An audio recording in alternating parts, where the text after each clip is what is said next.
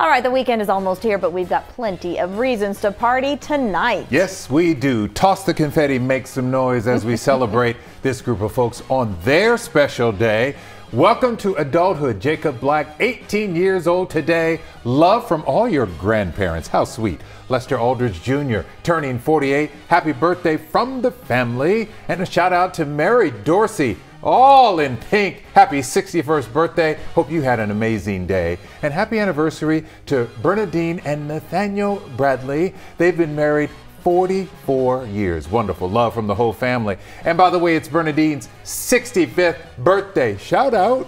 And Mike and Teresa Miller reaching a major marriage milestone. Congrats on 50 years. Cheers to many more. All right, is there someone you'd like us to recognize? Send us a text to 713 526 1111. We need a photo, their name, along with what they're celebrating and when. And each night we'll select a random group to mention on TV.